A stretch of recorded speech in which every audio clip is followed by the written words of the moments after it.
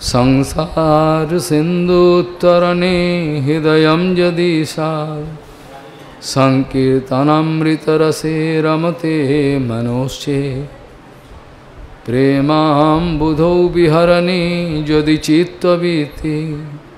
चैतन्यचन्दचरणे कुरुतानुरागम् चैतन्यचन्दचरणे कुरुतानुरागम्।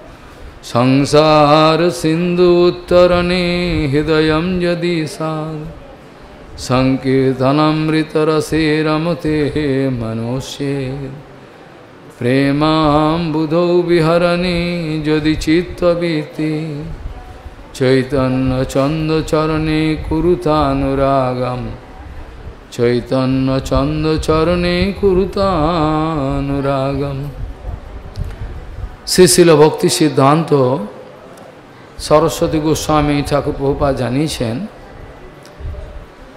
জগৎবাসী পরম সত্যবস্তু থেকে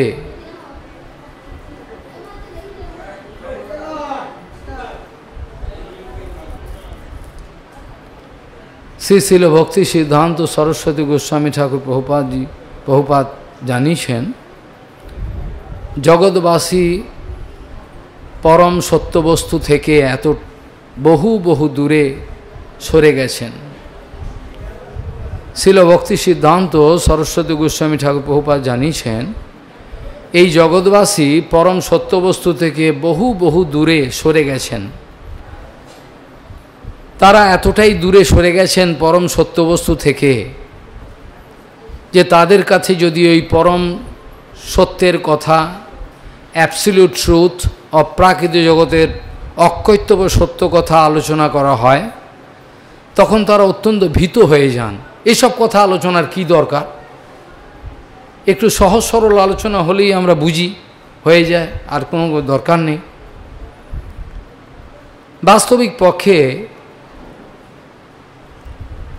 শ্রী শ্রী চৈতন্য মহাপ্রভু পরাৎপর অখিলেশ্বর আবির্ভাবের সঙ্গে সঙ্গে আমাদের অনন্তকালের যত অভাব, অভিযোগ, দুঃখ, দুর্দশা, সবই চলে যাওয়ার কথা ছিল, কিন্তু গেল না। পরাৎপর অখিলেশ্বর, শ্রী শ্রীমান মহাপ্রভু আবির্ভাবের সঙ্গে সঙ্গে এই জগৎবাসীর অনন্তকালের যে দুঃখ, দুর্দশা, তাদের যে অভাব, অভিযোগ যা কিছু ছিল, সবই চলে যাওয়ার কথা ছিল। কিন্তু কোনোটাই গেল না। বড় দুঃখের কথা, শ্রী চৈতন্য আবির্ভাবের পর যার দুঃখ দুর্দশা গেল না, তার মনে হয় কোনোদিনই আর যাবে না। এগুলো আমার কথা নয়। প্রবোধানন্দ সরস্বতীবাদ অনেক দুঃখে করে জানিয়েছেন যে চৈতন্য আবির্ভাবের সঙ্গে সঙ্গে সমস্ত জগতে প্রেমের বন্যা বই যাওয়ার কথা। কিন্তু সেই প্রেম বন্যা কাউকে কাউকে ছুলো না, স্পর্শ করল না। বড় আশ্চর্য। দন্তে তিনকম নিধায় পদয়র নিপত্য কাকু শত এতদহম ব্রমি হে সাধব, সকলমেব বিহায় দুরা চৈতন্য চন্দ চরণে কুরুতানুরাগম। প্রবোধানন্দ সরস্বতীবাদ বলছেন, দন্তে তিনকম নিধায় পদয়োর নিপত্ত কাকুশত এতদহম ব্রব্যমি হে সাধব সকলমেব বিহায় দুরা, চৈতন্য চন্দ চরণে কুরুতানুরাগম, চৈতন্য চন্দ চরণে কুরুতানুরাগম। প্রবোধানন্দ সরস্বতীপাদ তুঙ্গবিদ্যা সরস্বতী, কৃষ্ণলীলায়। শ্রী শ্রী গোপাল ভট্ট গোস্বামীর গুরুদেব, তিনি কাতরভাবে প্রার্থনা করছেন, আমি আমার দন্তেতে তৃণ ধারণ করে তোমাদের চরণে পতিত হয়ে এক কাতর প্রার্থনা জানাচ্ছি সকলমেব বিহায় দুরা চৈতন্য চন্দ চরণে কুরুতানুরাগম। যেসব জিনিস নিয়ে তোমরা ব্যস্ত রয়েছ যেসব জিনিস নিয়ে তোমরা কাকের মতো ঝগড়া করছ একে অপরের সঙ্গে, সেই বস্তুগুলো তোমাদের কাছে তুচ্ছ হয়ে যেত। যদি চৈতন্য চরণের সৌকর্য, সৌন্দর্য তোমাদের ইন্দ্রিয়গুলোকে আকর্ষণ করত। যেখানে কৃষ্ণদাস কবিরাজ গোস্বামী অত্যন্ত দুঃখের সঙ্গে জানাচ্ছেন যে যদি কুকুরও হয়, আমি তো মানুষ মানুষ না হলেও মানুষের মতো দেখতে তো বটে, মানুষ হয় হইনি কি দেখতে তো মানুষের মতোই, দুটো হাত, দুটো পা, সবই মানুষের মতো রয়েছে। হয়তো আমার মানুষের চরিত্র নেই, মানুষের বিবেচনা আমার মধ্যে নাই। হতে পারে। সেখানে কৃষ্ণদাস কবিরাজ গোস্বামী বলছেন যে, এই যদি কুকুরও হয়, তাহলেও সেই চৈতন্য মহাপ্রভু চরণের স্বাউপি তৎগন্ধ ভাগ কুকুরও যদি হয়, সেও চৈতন্য চরণের সৌগন্ধ পেয়ে যাবে। এটা কোনো বানানো কথা নয়। আমরা কোনো ফাঁকা ফিলোসফি আলোচনা করতে বসি নাই। কোনো দার্শনিক আলোচনা করতে বসি নাই। ফাঁকা দার্শনিক আলোচনা যার কোনো ব্যাকগ্রাউন্ড নেই। যে দার্শনিক আলোচনার কোনো ব্যাকগ্রাউন্ড নেই, আমার জীবনের চরিত্রে কোনো প্রতিফলন নাই। সে আলোচনা দিয়ে আমি আপনাদের কি উপকার করতে পারি আর নিজেরই বা কি উপকার করতে পারি। সবচেয়ে বড় চিন্তার বিষয়, যেখানে কৃষ্ণদাস কবিরাজ গোস্বামী অত্যন্ত খেদের সঙ্গে জানি অপ্রাকৃত দৈন্য প্রকাশ করে জানাচ্ছেন, বৈগুণ্য কীট কলিত পৈশূন্য ব্রণপূরিত দৈনার নবে নিমগ্ন হম শ্রী চৈতন্য বৈদ্যমাশ্রহে এগুলো সব মহাজনদের দৈন্য। এ সমস্ত শুকনো ভদ্রলোক, ভদ্র সমাজের কোনো শুকনো এটিকেসি নয়, সৌজন্যতা বোধ নয়, কেউ কারোর সঙ্গে দেখা হলো, গুড মর্নিং বলে দু চারটে কথা বললেন। এরকম ধরনের বিষয় নয় এগুলো। যখন কৃষ্ণদাস কবিরাজ গোস্বামী অপ্রাকৃত দৈন্য প্রকাশ করে অনেক কথা বলেছিলেন। এখানকার জগতের যে অন্ধ অভিমানী ব্যক্তিগণ, তারা এই সমস্ত কথার আমল দেননি। এগুলো সত্য হতে পারে না। কৃষ্ণদাস কবিরাজ গোস্বামী যে অপ্রাকৃত দৈন্য প্রকাশ করেছেন, এই জগতের যে সমস্ত ভদ্রলোকরা আছেন তথাকথিত, তারা এই সমস্ত কথাগুলো মেনে নিতে রাজি হন নাই। কৃষ্ণদাস কবিরাজ গোস্বামী অপ্রাকৃত দৈন্য করে বলেছেন, জগাই মাদাই হইতে মুইষে পাপিষ্ঠ, পুরুষের কীট হইতে মুইষে লঘিষ্ঠ। মোর নাম যেই লয়, তার পাপ হয়, মোর নাম যেই লয়, তার পুণ্যক্ষয় এমন নিঘৃণ্য মোরে কেবে কেবা কিবা করে, এমন নিঘৃণ্য মোরে কেবা কিবা করে, এক নিত্যানন্দ বিনু জগৎ মাধারে। এরকম একটা পরিচয় দিচ্ছেন তিনি নিজের। কি পরিচয় দিলেন? বলছেন, জগাই মাদাই হয়েছে মুইসে পাপিষ্ঠ। জগাই মাদায়ের থেকে আমি অত্যন্ত পাপিষ্ঠ, অত্যন্ত পচিত ব্যক্তি। আর পুরুষের কীট হইতে মুইসে লঘিষ্ঠ। পুরুষের কীট হইতে মুইসে লঘিষ্ঠ। ইউজলেস। পুরুষের কীট হইতে মুইসে লঘিষ্ঠ। মানুষ যে বিষ্ঠা ত্যাগ করে, সেই বিষ্ঠার যে ক্রীড়া হয়, সেই বিষ্ঠার ক্রিয়া ক্রীড়ার থেকেও নিজেকে নিচু মনে করছেন। পুরুষের কীট হইতে মুইসে লঘিষ্ঠ। পুরুষের বিষ্ঠার যে কীট হয়, তার থেকেও নিচে গিয়ে অত্যন্ত নিচু, ততধিক নিচু বলে নিজেকে পরিচয় দিচ্ছেন। বড় আশ্চর্য কথা। বলছেন, আমার নাম যেই নেয় তার পাপ হয়, আমার নাম যেই শুনে তার পুণ্য ক্ষয় হয়ে যায়। জগৎবাসী বলছেন, এরকম একটা ফালতু ব্যক্তি, এরকম একটা পতিত ব্যক্তির মুখে আমাদের দু চারটে কথা শুনে কী লাভ হবে? আমাদের ওয়েস্টেজ অফ টাইম আমরা সময় নষ্ট করতে পারব না। এই তো নিজেই পরিচয় দিচ্ছেন। উনি তো নিজেই পরিচয় দিচ্ছেন। পুরুষে কিছু তো মুইসে লঘিষ্ঠ। জগাই মাদাই তো বুঝতে সে তো বলছেন নিজে।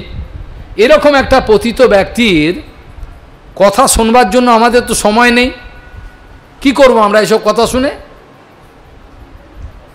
ছিল ভক্তি সিদ্ধান্ত সরস্বতী গোস্বামী বহুবার জানাচ্ছেন, এই জগতের মূর্খ ব্যক্তিগণ নিজেদেরকে জ্ঞানী বলে মনে করে, নিজেদেরকে মানি বলে মনে করে, আমরাও তাদেরকে মান দিয়ে থাকি, দিয়ে বঞ্চনা করে থাকি।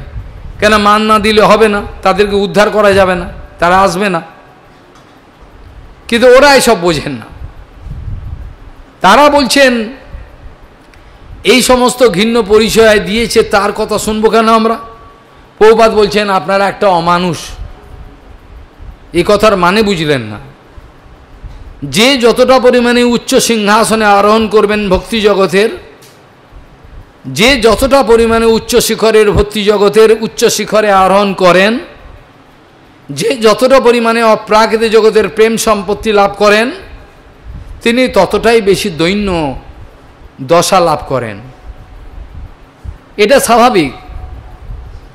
শিলপ্রপাত জানাচ্ছেন, বৃষভানুনন্দিনী রাধারানীর আনুগত্যের মধ্যে স্বাভাবিকভাবেই এরকম একটা অপ্রাকৃত দৈন্য বিরাজমান এটা জগতের কোনো লোকই বোঝে না।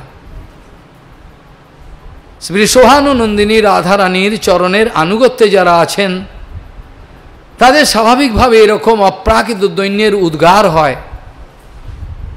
এই সমস্ত কথা সাধারণ লোক জানেন না। তারা এতটাই উচ্চ পদবি লাভ করেছেন, যাদের কথা জগতের কোনো ব্যক্তি অনুমান করতে পারবেন না, অনুমান করতে পারবেন না, সম্ভব নয়। তারা এতটাই উচ্চ শিখরে। যদি বলা হতো তারা কৃষ্ণের কোনো পরিকর, যদি কথা বলা হতো তাদের মধ্যে কেউ কৃষ্ণের কোনো পরিকর তারা তাহলেও কম কথা হয়ে গেল। কম কথা? কৃষ্ণের পরিকর? হ্যাঁ। বৃষভানুনন্দিনী রাধারানীর পরিকর যদি বলা পরিকরই তার পদবি আরও ওপরে হয়ে গেল। এগুলো সাধারণ ব্যক্তির বোধগম্য হয় না। তারা অনুভব করতে পারেন না। পৌপাত বলছেন, যারা অমানুষ, তারা এই সমস্ত অপ্রাকৃত দৈন্যের কোনো মানে অনুভব করতে পারবেন না। তারা এই কথাই বলবেন যে এই সমস্ত পরিচয় যিনি দিয়েছেন, তার সম্বন্ধে তার কথা শুনে আমরা কি করব। তার কথা শুনে তো আমাদের কোনো লাভ হবে না। বহুপাত বলছেন, উনি তো অপ্রাকৃত দৈন্য প্রকাশ করছেন। এটা ইচ্ছে করে তিনি অপ্রাকৃত দৈন্য প্রকাশ করছেন হৃদয়ের অন্তঃকরণ থেকে। যে দৈন্যটা বাস্তব দৈন্য, কিন্তু যে কথাটা তিনি বলছেন, অবস্থাটা তা সেরকম নয়। তার অবস্থাটা অনেক উঁচু পদবী। তার পদবী এত ওপরে এই ব্রহ্মাণ্ডে এর চেয়ে বেশি পরিচয় আর হতে পারে না। এর এর চেয়ে বেশি ডেজিগনেশন এর চেয়ে বেশি পদবী, উঁচু পদবী আর হতে পারে না। তথাপি তিনি দৈন্য প্রকাশ করে এইসব কথা বলেছেন আমাদের কাছে। আমরা তাই বলে তিনি দৈন্য প্রকাশ করেছেন বলে আমরা কি সেটাই বুঝে নেব? উনি পতিত অধম এত নিচ, অতএব তার করার সাথে কাজ নেই। যখন গৌকিশোর দাস বাবাজি মহারাজ এই কথা বললেন, আমার এই দেহটা যাওয়ার পর তোমরা আমার এই পায়েতে দড়ি বেঁধে এই ধামের রাস্তা দিয়ে কুকুরের মতো টানতে টানতে নিয়ে গিয়ে গঙ্গায় ছুঁড়ে ফেলে দেবে। ছিল গৌরকিশোর দাস বাবাজি মহারাজ যখন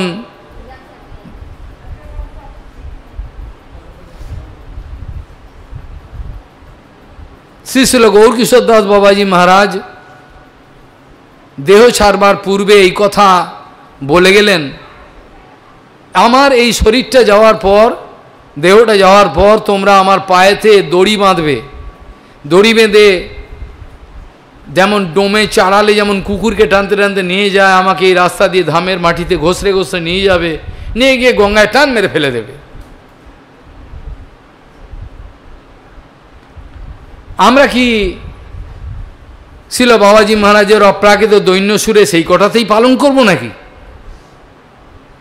আমরা কি ছিল গৌরকিশোর দাস বাবাজি মহারাজের অপ্রাকৃত দৈন্য শ্রবণ করার পর মনে করে নেব, গৌরকিশোর বাবাজ মহারাজ বলে গেছেন, তার পায়ে তো দড়ি বাঁধতে হবে এবং টানতে হবে, এত বড় জানুয়ার আমি হয়ে যাব? আমার সামান্যতম বিবেচনা পর্যন্ত থাকবে না যে এই মহাপুরুষ, যাকে সাক্ষাৎ গৌরাঙ্গ, যে গৌর কিশোর এই গৌর কিশোরকে কোলে নিয়ে নৃত্য করতে করতে অধীর হয়ে যান প্রেমের বন্যায়। যে গৌরাঙ্গ মহাপ্রভু, গৌর কিশোর, এই গৌর কিশোরকে কোলে নিয়ে নৃত্য করতে ইচ্ছা প্রকাশ করেন, যে হরিদাসকে কোলে নিয়ে মহাপ্রভু নৃত্য করেছিলেন, সেই হরিদাস, সেই গৌরকিশোর বাবাজি মহারাজ সম্বন্ধে কি আমি এ ধরনের পাশবিক মনোবৃত্তি পোষণ করব, এটাই কি ঠিক? তিনি বলে গেছেন তার অপ্রাকৃত দৈন্য তিনি প্রকাশ করে গেছেন কি আমি ভেবে নেব তিনি সেরকম ধরনের অবস্থা? অতএব আমাকে তাই করতে হবে। ছিল বহুপাত যখন গৌরকিশোর বাবাজি মহারাজ দেহ ছেড়েছেন, তখন সেই পশু সদৃশ্য যারা ভজনের নামে অত্যাচার করে থাকেন, তারা সম্মুখে দাঁড়িয়ে রয়েছেন বহুপাদের সঙ্গে ঝগড়া করছেন। এই দেহের উপর আমাদের অধিকার। আমরা ওনার শিষ্য নবদ্বীপ থানার অধিকারী ব্যক্তি এসছেন। পৌপাত সেখানে প্রতিজ্ঞা করে বললেন, কে এখানে আছেন? এ অপ্রাকৃত দেহ স্পর্শ করে বলুন যে আপনারা তার শিষ্য। আপনারা বলুন আপনারা ব্যবিচার করেন না। আপনারা বলুন। কেউ বলতে পারলেন না। সবাই পালালেন। পৌপাত বললেন, আমি একমাত্র শিষ্য। এই মহাপুরুষের আমি একমাত্র শিষ্য। তাতে যদি আপনাদের মধ্যে কেউ বলেন, এত বড় অহংকার, আমরা কেউ শিষ্য হয়নি ছিল সন্ত গোস্বামী মহারাজ একমাত্র সাগর মহারাজই শিষ্য, আর কেউ হয়নি? যত বেশি দৈন্য হবে, তত বেশি আমার এই তর্ক ঝগড়া থেকে বিশ্রাম নিতে ইচ্ছে করবে। আমি নিজে বিবেচনা করব, রূপ সনাতনের মতো করা উচিত। যে রূপ সনাতন বলছেন, আমি পতিত, আমরা আমরা জগন্নাথ মন্দিরে প্রবেশের অধিকার নাই। যে যত অপ্রাকৃত দৈন্য প্রকাশ করেন অন্তর থেকে, অনেকে বানিয়েও করতে পারেন। তার অনেক প্রমাণ আছে যারা জহরই তারা জহর চেনেন, কে বাস্তব বৈষ্ণব, কে নয়। কি কারণে বৈষ্ণব রেগে গেলেন? কি কারণে তিনি আনন্দ পান? এইসবগুলো আমরা অনুসন্ধান করি না। ঠাকুরদাস বাবা বলে একজন ছিলেন প্রাসঙ্গিক কমে ঘটনা মনে পড়ে গেল। বৃন্দাবনেতে বৃন্দাবনেতে তিনি শ্রী চৈতন্য গৌরীয় মঠে অপ্রাকৃত রাধা নিবাসে তিনি বৃদ্ধ মানুষ, তিনি বসে বসে কীর্তন করতেন। বিশেষ করে যখন আরতি হবে ঠাকুরের ঠাকুরের যখন অপ্রাকৃত আরতি হবে, সেই সময় তিনি সবচেয়ে আগে আসবেন। কাসর ঘণ্টা নিয়ে তিনি এই আরতি করবেন। তার এটা নিত্য সেবা।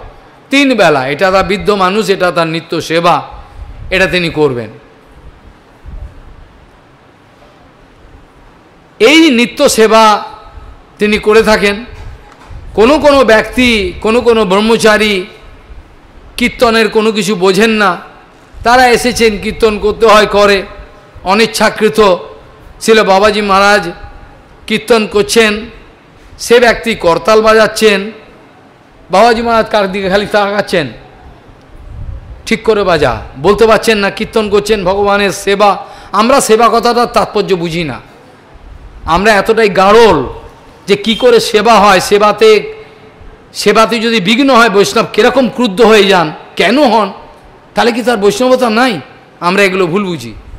আমরা জানি না। বাবাজি মহারাজ কীর্তন করছেন, ওকে বারবার ইশারা করছেন, তুই করতালটা ঠিক করে বাজা। ও করতে পারছে না, ও জানে না। তা তোর বাজানোটা বন্ধ কর। যদি শোনে না। এরকম বেশ কয়েকদিন করেছেন, তাকে বলা সত্ত্বেও সে পাচ্ছে না। মহারাজ নিজের যে কাসর বাজাবার যে ডান্নাটা, ওকে ছুঁড়ে মারলেন। ধত, দূর হ এখান থেকে। সে চলে গেল। পরে তখন আরতি হয়ে গেল। সন্ধ্যা আরতির পর পূজারী তাকে প্রসাদ দিয়েছিলেন। সেই সব প্রসাদ বাবাজি মহারাজ নিজে আত্মসাত করেন না। বৈষ্ণবরা কোনো কিছুই আত্মসাত করেন না। তাদের যা কিছু থাকবে সবই ভগবানের জন্য, গুরু বৈষ্ণবের জন্য। আপনারা লক্ষ্য করতে পারেন, পরীক্ষা করতে পারেন, যদি ক্ষমতা থাকে। ওদের যা কিছু আছে, পাই পয়সা যা কিছু, সব কিছু ভগবানের সেবার জন্য, গুরু বৈষ্ণবের সেবা, ওদের নিজেদের জন্য নয়। যাকে তিনি ডান্ডা ছুঁড়েছিলেন, তাকে ডাকলেন বলে ওকে নিয়ে আয় আমার কাছে। সে ঘরে এলেন বাবাজি মা, চোখের জল ফেলতে আদর করলেন, করে বললেন, আমি তোকে কেন মারলাম বুঝতে পারলি? তুই আমার প্রভুর সেবায় ব্যাঘাত সৃষ্টি করছিস। আমি কীর্তন করছি ভগবানের সুখবিধানের জন্য। কালকে আমি কীর্তন করেছিলাম ভগবানের সুখবিধানের জন্য, আমি করতে পারিনি। সেই জন্য আপনাদের উপর অসন্তুষ্ট হয়েছিলাম এটা কোনো জড়জগতের কোনো রাগ প্রকাশ আমি করি নাই। এইভাবে অপ্রাকৃত জগতের সেবা, সৈষ্ঠব, সৌন্দর্য বৃদ্ধির জন্য আপনাদের সবাইকে প্রচেষ্টা বিধান করতে হবে। কিছু হইসই কিছু খাওয়া দাওয়া কিছু ভান্ডারা কিছু ড্রাই ফিলোসফি শুকনো দার্শনিক আলোচনা হয়ে গেল, আমার উৎসব হয়ে গেল এটাকে উৎসব বলে না। এটাকে উৎসব বলে না।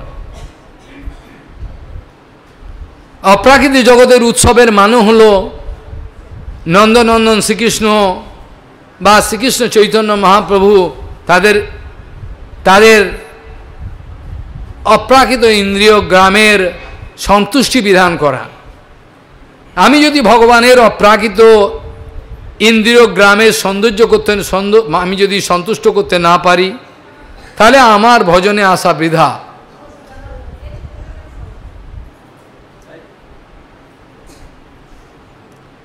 আমার ভজনে আসার তাৎপর্যই এই। আমার ভজনে আসার তাৎপর্যই এই ছিল যে আমি এখানে এসছি, আমার জীবন, যৌবন, বিদ্যা, অর্থ, যা কিছু ছিল সব গুরুচরণে উৎসর্গ।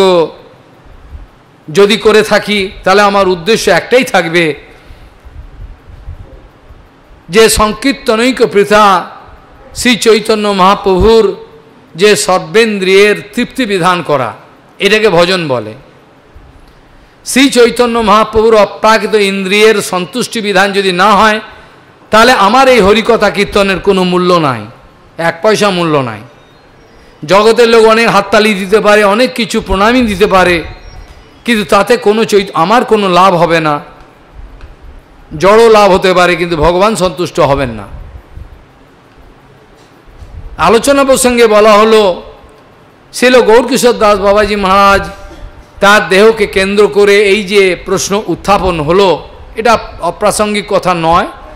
অপ্রাকৃত দৈন্যের ব্যাখ্যা করবার জন্যই এটা আমাকে করতে হলো। কালকের আলোচনার সঙ্গে যোগসূত্র স্থাপন করেই আমি আলোচনা করব। তারই এটা ভিত্তি ভূমিকা। আমি যে প্রথমে বলতে আরম্ভ করলাম, এটা হচ্ছে একটা ব্যাকগ্রাউন্ড এটা প্রারম্ভিক আলোচনা। কালকের আলোচনা হয়েছিল, ছিল অপ্রাকৃত জগতের রূপমঞ্জরি রূপগোস্বামী পাদের অপ্রাকৃত বৈশিষ্ট্য সম্বন্ধে। আজকে আলোচনা শুরুতেই বলা হলো যে চৈতন্য মহাপ্রভুর চরণে আমরা যদি আত্মনিবেদন করতে পারি সর্বাঙ্গীনভাবে, তার অপ্রাকৃত ইন্দ্রিয় গ্রামে যদি সন্তুষ্টি বিধান করতে পারি, তা তাহলে আমাদের এই জীবন ধারণ সার্থক হয়ে যাবে। অপ্রাকৃত জগতের কথা বড়ই অদ্ভুত আপাত দৃষ্টিতে এইসব কথা বোঝা যায় না, অনুভব করা যায় না।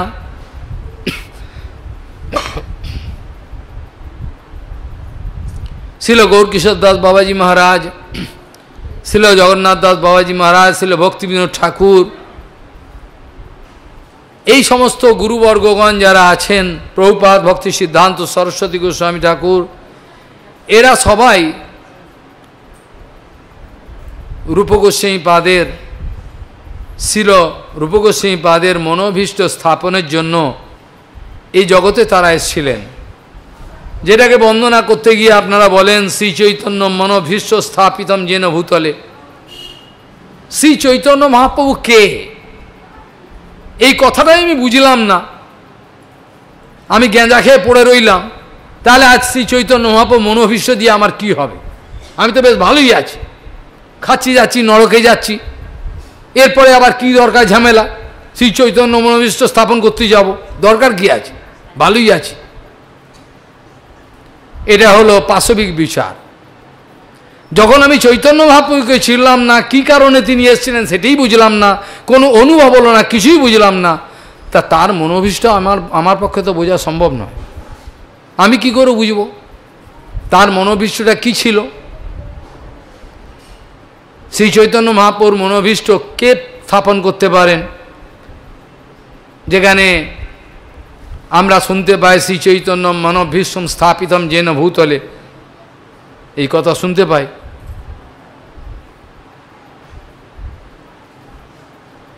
ছিল রূপ গোস্বামীপাদ কবে এরকম ধরনের একজন ব্যক্তিকে তার কুরূপ কুত কদাসিত এই যে কদাকার রূপ, এই রূপকে অপসারণ করে কখন তিনি অপ্রাকৃত রূপ আমাকে দেবেন? কখন সেই রূপমঞ্জরী, রূপগোস্বামী পাদ আমার এই কুৎসিত কদাকার যে চিত্তবৃত্তি, যেটা কৃষ্ণদাস কবিরাজ গোস্বামী দৈন্য করে বললেন, কিন্তু আমি দৈন্য করে বলছি না, আমার জীবনে সত্যিই কুৎসিত আমার কদাকার, আমার চিত্তবৃত্তি, আমার সব কিছুই কুৎসিত। যেখানে কৃষ্ণদাস কবিরাজ গোস্বামী কিন্তু দৈন্য করে বলেছেন, বাস্তবিক পক্ষে বৈগুণ্য কীটকলিত পৈষণ্য ব্রণবিদিত দৈনার নবে নিমগ্ন হম শ্রী চৈতন্য বৈদ্যমাশ্রয়ে আমি চৈতন্য নামক সেই বৈদ্যকে আশ্রয় করি, ভববৈদ্য। যখন নাকি আমি বৈগুণ্য কীটকলিত, বৈগুণ্য নামক বিভিন্ন রকম দুর্গুণ আমাকে পোকার মতো আমার রিয়েল সেলফ আমার হৃদয়ের অন্তঃকরণকে ঝাঁঝরা করে দিয়েছে, ঝাঁঝরা। যেমন বইয়ের পোকা যেমন বইকে কেটে ঝাঁঝরা করে দেয় শ্রীল কৃষ্ণদাস কবিরাজ গোস্বামী দৈন্য প্রকাশ করে বলছেন, বৈগুণ্য কী টকলিত আমার মধ্যে এতই দুর্গুণ আছে সেই দুর্গুণগুলো, আমার মধ্যে এতই দুর্গুণগুলো আছে সেই দুর্গুণগুলো, আমাকে ঝাঁঝরা করে দিয়েছে, আমার মধ্যে আর পদার্থ কিছু নাই। মানুষ্য রূপ, মানুষ্য আকার হইলে কি হয়? করহ ভূতের কাম। প্রাসবিক চরিত্র আমার হয়েছে। একটা পশু বেশি দূর পর্যন্ত নামতে পারে না। একটা মানুষ যখন তার মানুষত্ব হারিয়ে যায়, তখন সে যে পদবি লাভ করে, যে নিচুতে নেমে আসতে পারে, একটা পশু অত নিচুতে আসতে পারে না। এটা আমার কথায় নয়। এটা সব দার্শনিকগণ জানেন। এটা সবাই স্বীকার করবেন। একটা পশু বেশি নিচু নামতে পারবেন না। কেন? পশু আর কত নিচু পশু রয়েছেই। কিন্তু একটা মানুষ যখন পশুত্ব লাভ করে, তার থেকে অনেক বেশি নিচুতে চলে যায়। এই জন্য জড়জগতের কোনো দার্শনিক সুন্দরভাবে বর্ণনা করে লিখেছেন, সুন্দরভাবে জীবনানন্দ। বলছেন, জঙ্গল থেকে কোনো পশুকে তুলে আনা যায়, জঙ্গল থেকে কোনো ঘিংস্র পশুকে জঙ্গল থেকে কোনো হিংস্র পশুকে তুলে আনা যায়? কোনো জঙ্গল থেকে কোনো হিংস্র পশুকে যদি তুলে আনা সম্ভব হয়, হতে পারে। কিন্তু মানুষের মন থেকে, মানুষের মনের মধ্যে যে হিংস্র পশু লুকিয়ে রয়েছে, তাকে তুলে আনা যায় না। জীবনানন্দ বলেছিলেন, আমরা ছোটবেলায় পড়েছিলাম। সুন্দরভাবে বলেছেন যে জঙ্গলের ওই বিভৎস জঙ্গল থেকে হিংস্র পশুকে জঙ্গল থেকে তুলে আনা যদি সম্ভব হয়, হতে পারে। কিন্তু মানুষের মনে যে হিংস্র পশু রয়েছে, তাকে তুলে আনা যায় না। বড় আশ্চর্য কথা, সত্য কথা। একটু আগেই বলেছিলাম পৌপাদের কথা এই জগতের লোক পরম সত্যবস্তু থেকে এতটাই দূরে সরে গেছেন এ জগতের লোক পরম সত্যবস্তু থেকে বহু বহু দূরে সরে গেছেন। তারা এ অপ্রাকৃত সত্য বস্তু থেকে এতটাই দূরে সরে গেছেন, তাদের কাছে অপ্রাকৃত জগতের যদি সত্য কথা আমি আলোচনা করতে চাই, তারা বললেন, বন্ধ করুন। এসব কথা আমাদের লাগবে না। ভালো কথা বলুন কিছু। ভালো কথা কাকে বলে? বলে, বেশ্যাবৃত্তিকে ভালো কথা বলে। পৌপাত বলছেন, বেশ্যাবৃত্তি হলে সেটাকে ভালো কথা বলে। যে কথার দ্বারা আমি লোককে নাচাবো, যে কথার দ্বারা লোককে আমি ঠকাবো, সেই কথাগুলো খুব ভালো কথা। যাতে আমার আত্মমঙ্গল কোনোদিনই হবে না। সেগুলো কেন বলছেন না উনি? উনি কেন আমার ভেতর থেকে এই রোগটাকে, আমার হৃদয়ে যে বিমারি আছে, রোগ আছে, এটাকে সারিয়ে দিতে চাইছেন? উনি তো ভালো লোক না, ভালো সাধু নয়। অপ্রাকৃত জগতের অকর্তব্য সত্য কথা বলার মানেই হলো তোমাদেরকে অপারেশন করো, অপারেশন বোঝো। অপারেশন করার সঙ্গে সঙ্গে রোগী চিৎকার করে, ছেড়ে দাও আমাকে। ডাক্তার ছাড়বে না। আমি যখন ছুরিটা ধরেছি, তোর মঙ্গলের জন্য তোকে অপারেশন করে তোকে আমি ভালো করব। যে জগতের কোনো ব্যক্তি এইসব কথা মেনে নিতে রাজি হচ্ছেন না। তারা সাধুর দোষ ধরছেন। কালকেও আলোচনা করেছিলাম। যখন সংসার ত্যাগ করেছিলাম, তখন ইচ্ছা ছিল কৃষ্ণকে অন্বেষণ করব, কৃষ্ণান্বেষণ। যখন সংসার ত্যাগ করেছিলাম তোমার আমার জীবনের উদ্দেশ্য ছিল কৃষ্ণান্বেষণ, কৃষ্ণকে অন্বেষণ করা। কিন্তু পরবর্তীকালে দীক্ষা আদি গ্রহণ করার, অভিনয় করার পর আমি যে মঠবাসী হলাম, তাতে কোনো লাভ হলো না, কারণ এতে অসৎসঙ্গ আরও বেশি পরিমাণে হয়ে গেল। প্রচুর পরিমাণে অসৎসঙ্গ করে আমি কৃষ্ণ অন্বেষণ না করে কৃষ্ণান্বেষণের জন্য আমার ব্যস্ত হওয়ার কথা ছিল, সেটার জন্যই আমি মা বাবাকে ত্যাগ করে তাদের কর্তব্য করি নাই। কম বয়সে চলে এসেছিলাম, কিন্তু পরবর্তীকালে অসৎসঙ্গ করার ফলেতে আমার চিত্তবৃত্তি এতই বিনষ্ট হয়ে গেল, সেখানে কেবল আমি কামিনী কাঞ্চনের অন্বেষণে ব্যস্ত হয়ে পড়লাম। কামিনী এবং কাঞ্চন, কি করে প্রতিষ্ঠা পাওয়া যায়? মানুষের জীবন থেকে অনেক কিছুই সৎসঙ্গের দ্বারা শোধন করা যায়। কিন্তু সৎসঙ্গ হলে তবে।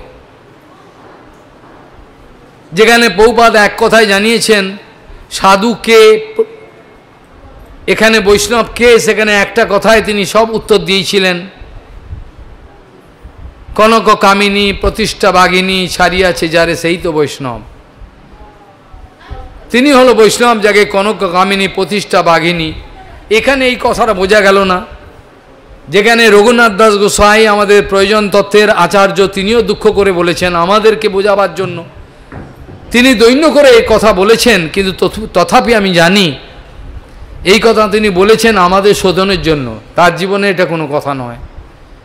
রঘুনাথ দাস গোস্বামী এইসব কথা বলেছেন, কিন্তু এগুলো যথেষ্ট পরিমাণে আলোচনা হওয়ার দরকার, গুরু বৈষ্ণবের আনুগত্যে। প্রচুর পরিমাণে এই সমস্ত কথা আলোচনা হওয়া দরকার, যাতে এই গৌরীয় মঠ স্থাপন আমার সার্থক হয়। এই গৌরীয় মঠ স্থাপন কখন সত্য হবে? যখন এই গৌরীয় মঠের প্রত্যেকটা ব্যক্তি যারা যারা আছেন, তারা শ্রী চৈতন্য মহাপ্রভুর যে সংকীর্তন যোগ্য তাদের নিজের জীবনকে আহুতি দেওয়ার জন্য যারা প্রস্তুত থাকবেন, প্রতিজ্ঞা করে বলবেন যে আমি প্রতিজ্ঞা করে বলছি যে আমি চৈতন্য মহাপ্রভুর যে সংকীর্তন যোগ্য যেটা সাধন করার জন্য এই গৌরী মঠ স্থাপন হয়েছে, সেইটার জন্য আমি প্রস্তুত আছি, আমার জীবনকে দেব। যেটা দেশের স্বাধীনতা সংগ্রামীগণ বলেছিলেন মাস্টারদা আমি আমার জীবন দেব দেশের জন্য। কিন্তু আমি এই সত্য কথাটা বলতে পারলাম না। যেখানে দেশের স্বাধীনতা সংগ্রামী সত্য কথা বলছেন যে আমি এই দেশ মাতার জন্য আমি আমার শরীরকে দেবো, আমি জীবন দেবো। কিন্তু আমি যখন গুরুপাদ পদ্মে এসেছিলাম, তখন বলেছিলাম, গুরুচরণে আমি আত্মনিবেদন করলাম। কথাটা কত বড় মিথ্যে কথা। আজকে গুরুপাদ পদ্মে চলে গেছেন, আজকে আপনারা হাড়ে হাড়ে বুঝতে পারছেন কতটা মিথ্যে কথা আমি বলেছি। আমি এই কথাটা মানিনি। অন্তর থেকে মুখে বলেছিলাম। আমি মুখে বলেছিলাম গুরুচরণে আত্মসমর্পণ করার অর্থই হলো, যে গুরুদেব চৈতন্য মনোবিষ্ট স্থাপনের জন্য এসছেন, আমাকেও তাহলে গুরু, চৈতন্য মহাপৌর যে মনোবিষ্ট স্থাপনের জন্য ব্যস্ত হতে হবে। আমি আমার জীবনটাকে দেওয়ার জন্য ব্যস্ত এই সংকীর্তন যজ্ঞে। যদি সমস্ত জগতের লোক আমাকে আক্রমণ করেন, আপনি কেন এইসব কথা বলছেন? তথাপি এই আক্রমণ সহ্য করেও আমাকে এই অপ্রাকৃত জগতের নিষ্ঠুর সত্য কথা বলতেই হবে। আমি পরিবর্তন করব না। আমি আমার জীবনে কোনো দিন এই সত্যর কথার পরিবর্তন করতে পারব না। তাতে যদি জগতের আমি মরবার আগে যদি অন্তত দশটা লোকের মঙ্গল হয়, বাস্তবিক মঙ্গল, তাতেও আমি খুব খুশি। আমার দরকার নেই হাজার হাজার লোকের কাছে প্রচার করে বিদেশে গিয়ে প্রচারের নাম কিনে, প্রচারকের নাম কিনে, আমার দরকার নেই। আমি প্রচারক না প্রতারক, সেটা আমার আচরণের চরিত্রেতে বোঝা যায়। আমি কি প্রচারক নাকি প্রতারক? সেটা আমার আচরণ, ব্যবহারে, আমার চরিত্রে তো সব প্রমাণিত হয়ে যায়। লুকিয়ে থাকা যায় না। যেখানে বলছেন যে শ্রী চৈতন্য মনোভীষ্ট কি? শিল রূপ কদা মধ্যম দদাতি সব পদান্তিকম শিল সেই রূপগোস্বাইপাদ কবে আমাকে নিয়ে চরণান্তিকে স্থান দেবেন? শ্রী চৈতন্য মনোভীষ্টম স্থাপিতম জৈন ভূতলে। শিল রূপ কদা মধ্যম শিল রূপগোস্বামীপাদ কবে এরকম ধরনের অধমকে স্থান দেবেন? আমার আলোচনার বিষয়বস্তু কালকে ছিল অনেক গম্ভীর, কিন্তু অত্যন্ত দুঃখের সঙ্গে আমি আলোচনা করতে পারিনি, অত্যন্ত কষ্ট পেয়েছি আমি। সম্ভব হলো না। ভগবান না বলালে হয় না, পরিস্থিতি না থাকলে হয় না। এগুলো অপ্রাকৃতিক জগতের কথা ভগবান স্ফূর্তিপ্রাপ্ত করালে পরিস্থিতি সেরাম হলে তবেই হয়, নাহলে পাওয়া যায় না। ছিল রূপগোস্বামী পাদ যে অপ্রাকৃতিক জগতের গোপন রহস্য আমাদের কাছে দিতে চেয়েছেন। সেই জন্যই আমি প্রথমে শুরুতে যে হরিকথার প্রারম্ভে আরম্ভ করেছিলাম, সংসার সিন্ধু উত্তরণে হৃদয়ম যদি এই কথাটা প্রবোধানন্দ সরস্বতীপাদ জানিয়েছেন। যে ব্যক্তির এই সংসার সিন্ধু পার হয়ে চৈতন্য চরণে যাওয়ার ইচ্ছা থাকবে, সংসার সিন্ধু উত্তরে হৃদয়ং যদি সাত প্রেমাম বোধৌ বিহরণে যদি চিত্তবৃত্তি, যদি প্রেমের সাগরতে সাঁতার কাটার ইচ্ছা যদি কাউ থাকে, তাহলে সেই জন্য সমস্ত কিছু ত্যাগ করে চৈতন্য চন্দ্র চরণে কুরু তানুরাগান তাকে আমি অনুরোধ করব সেই যেন সেই চৈতন্য চরণের অনুরাগ বৃদ্ধি করেন। অনেক কথা বলবার সময় আপনারা আমাকে দেন নাই। আগত বেশ কিছু দিনে আমি চেষ্টা করব এই একই বিষয়বস্তুর উপর অনেক গম্ভীর আলোচনা। তবে পরিবেশ যেরকম সেরকমই স্ফূর্তি হবে, এর বেশি হবে না। বন্দনা করার সঙ্গে সঙ্গে বোঝা যায় সামনে কারা বসে রয়েছেন আর পরিস্থিতি কি সেভাবে স্ফূর্তিপ্রাপ্ত হয়, এর বেশি হবে না। এটা নিয়ম। সেখানে বলছেন বলে, এই কথাটা কেন বললেন? আমি বললাম, কোনো বানিয়ে কথা বলি নাই। আমি স্বাস্থ্যের প্রমাণের কথা বলছি। যদি প্রমাণ চান, আমি এখনই বলে দিচ্ছি। শ্রী চৈতন্য মহাপ্রভু আবার প্রসঙ্গে আমি যাব। এই উদাহরণটা আমি দিয়ে নিই। নাহলে আপনারা মহারাজ কেন এই কথা বলল? আমাদের দুঃখ দিল। আমি দুঃখ কাউকে দিই নাই। আপনারা আপনাদের নিজের স্বভাবে দুঃখ পেয়েছেন। আমি দুঃখ দেওয়ার জন্য আসি নাই। সার্বভৌম ভট্টাচার্যের সঙ্গে মহাপ্রভুর যে আলোচনা, নীলাচলে বেদান্ত বিখ্যা প্রায় আট বছর আগে বেরিয়ে প্রকাশ হয়েছে, সবাই পড়েছেন আর দশ বছর আগে, বড় অপ্রাকৃত গ্রন্থ। সার্বভৌম ভট্টাচার্য তত্ত্ব অনুকম্পা সুসমীক্ষমানম ভঞ্জান এব আত্মকৃত বিপাকম হৃদবাগ বপু হ্যাঁ? বপুভীর বিদধ বিদধ নমস্তে জীবে তো মুক্তিপদে স দায়ভাগ।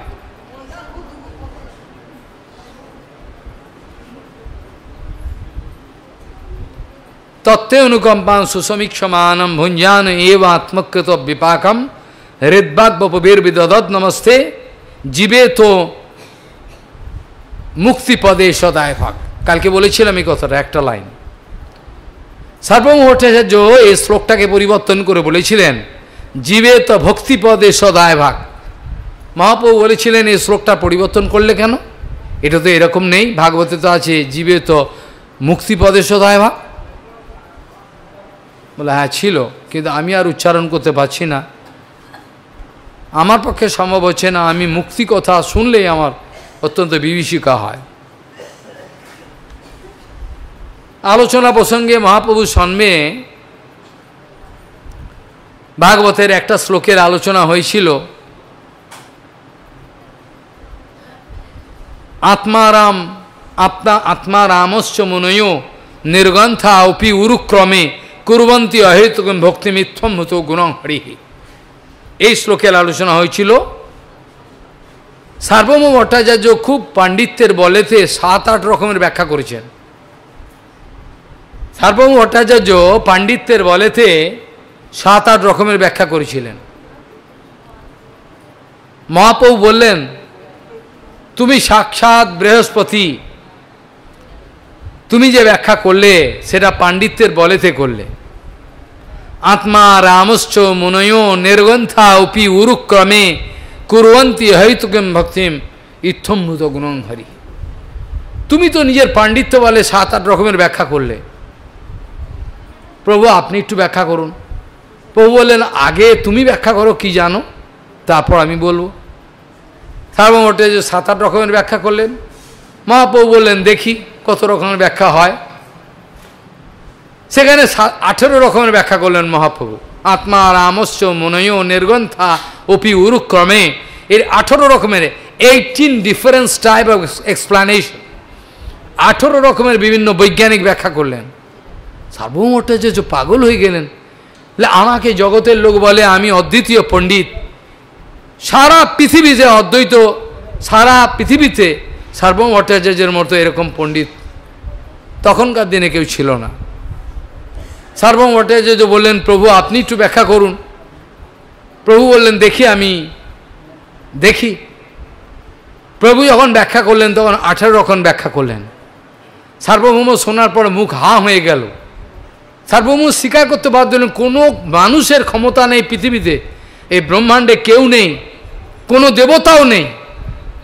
এই শ্লোকের এরকম ব্যাখ্যা করে, তাতে আমি বুঝতে পারছি সাক্ষাৎ আপনি ভগবান। আর ভগবানের মূর্তি তো দিন দেখিয়েই দিলেন। সার্বভৌমাচার্য তো ভগবানের সেই মূর্তি দর্শন করেই মূর্ছা গেলেন। বৈরাগ্য বিদ্যা, নিজ ভক্তি যোগ, শিক্ষার্থমেকম পুরুষ পুরাণ। শ্রী চৈতন্য প্রভু কি? শ্রীকৃষ্ণ চৈতন্য শরীরধারী কৃপাম্বুদিরস্তমহম প্রপদে এইটা বলেছেন। একশো রকমের শ্লোক করেছিলেন। গঙ্গার স্রোতের মতো বয়ে যাচ্ছে। যখনই এই মূর্তি দেখলেন মহাপ্রভুর, মূর্ছা গেলেন, যখন উঠলেন, মহাপ্রভু স্পর্শ করলেন, সার্বভৌম, কি হলো? তিনি যখন প্রভুর সৌম্য মূর্তি দর্শন করলেন, তখন ঝড়ের বেগে স্তব আরণ করলেন। বৈরাগ্য বিদ্যা, নিজ ভক্তি যোগ শিক্ষার্থ মেকাম পুরুষ পুরাণ শ্রী চৈতন্য শ্রীকৃষ্ণ চৈতন্য শরীরধারী কৃপাম্বুধির যস্তমহম প্রপদ্যে। একশোটা শ্লোক বললেন, ঝড়ের বেগে, ঝড়ও এত তাড়াতাড়ি চলতে পারে না। যত তাই সর্বমঠে যে বললেন।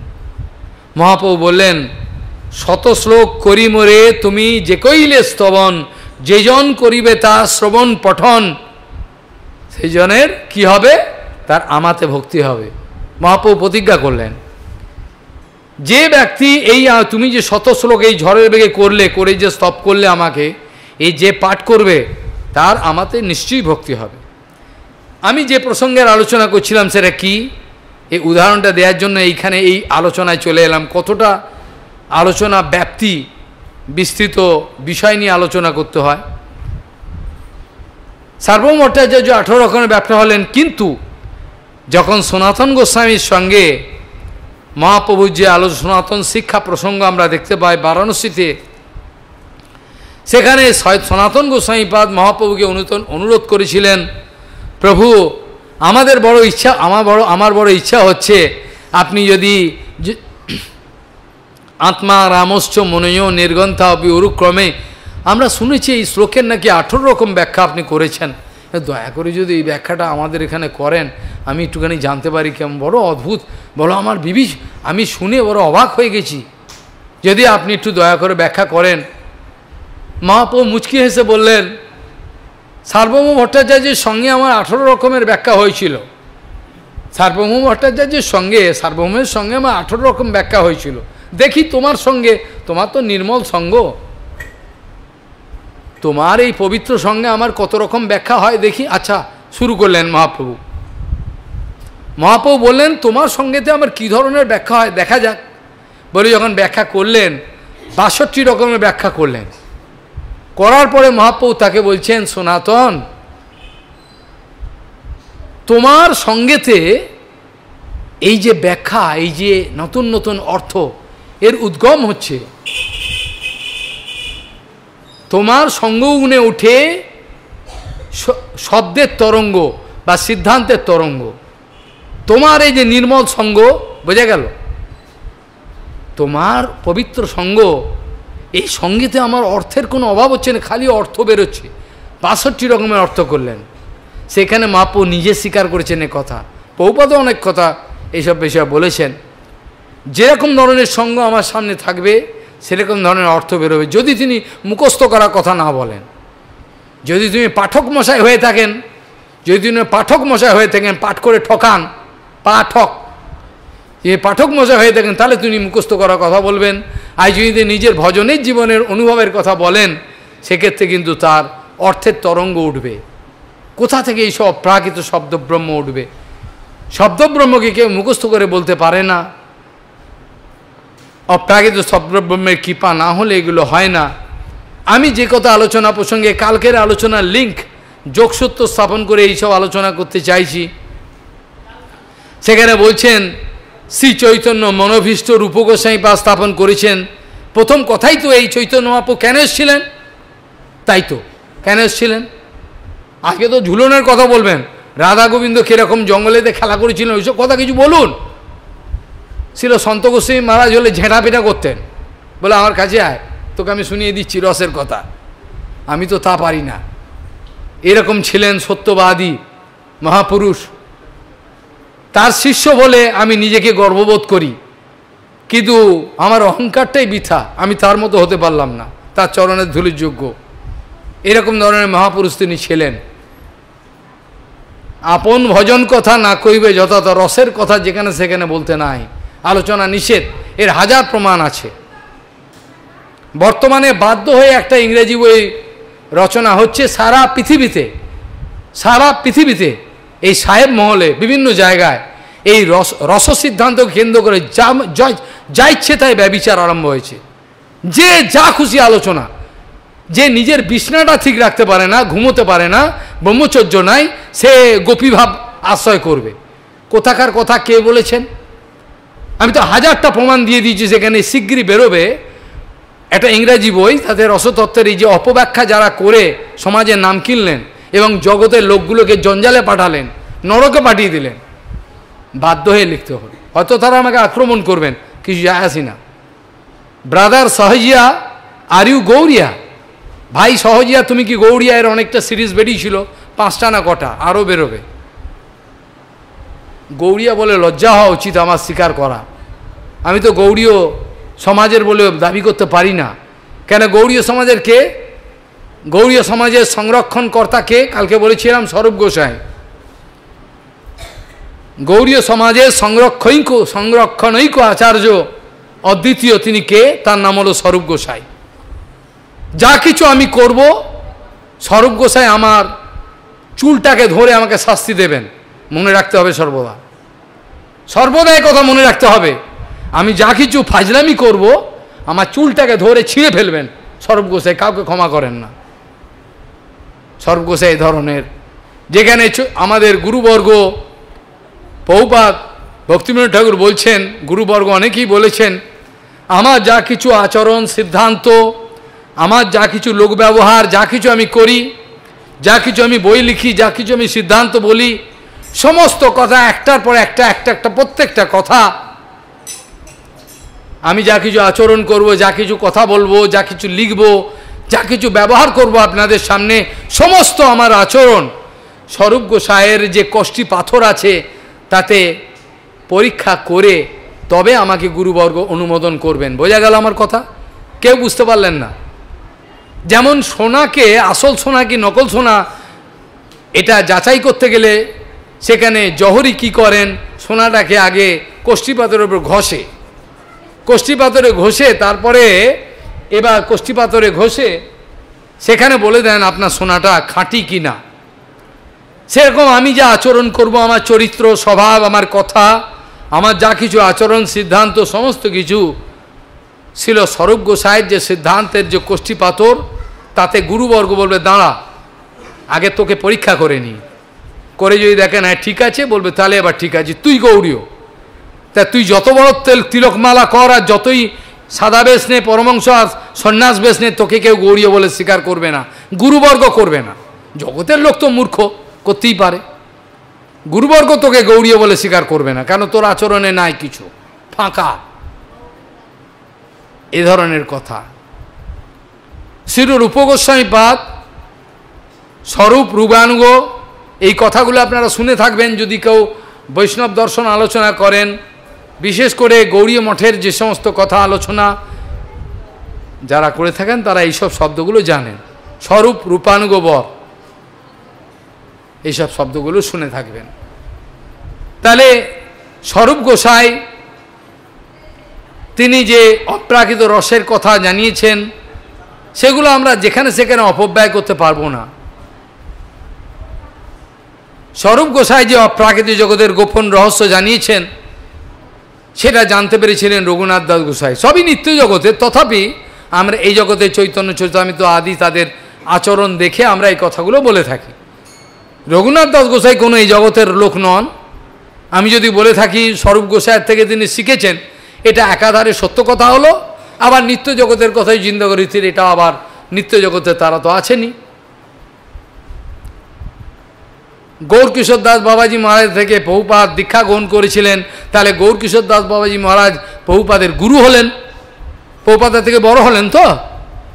হ্যাঁও বলে না, নাও বলে না। কি পুতুল বসে রয়েছে নাকি সামনে? গৌরকিশোর দাস বাবাজি মহারাজ থেকে বহুপাত দীক্ষা গ্রহণ করেছেন। বহুপাত তাকে গুরু বলেন। তাহলে গুরু, শিষ্য যদি সম্বন্ধ হয়, কে বড়? গুরু বড়, শিষ্য ছোট। আবার যদি রাধা গোবিন্দ লীলাতে চলে যাই। সেখানে দেখব গৌরকিশোর বাবাজি মহারাজ হচ্ছেন গুণমঞ্জুরি আর ইনি হচ্ছেন নয়নমণি মঞ্জুরি। তাহলে গুণমঞ্জুরি বড় না, নয়নমণি বড় তো মূর্খের কথা। এগুলো হয় না। বৃন্দাবন দাস ঠাকুরের আবির্ভাব তিথি অনেক এসব গম্ভীর কথা আলোচনা হয়েছে। তখন এইসব কথা তো তোলা থাকতো না। বৃন্দাবনে বিশাল আলোচনা হতো, দিনের পর দিন। সেই সব কথাগুলো সেই সব আগেকার দিনে সে মেশিন ছিল তোলা থাকে সব হারিয়ে গেছে কেস সমস্ত অনেক কথা আলোচনা হতো। অপ্রাকৃতিক জগতের কথা।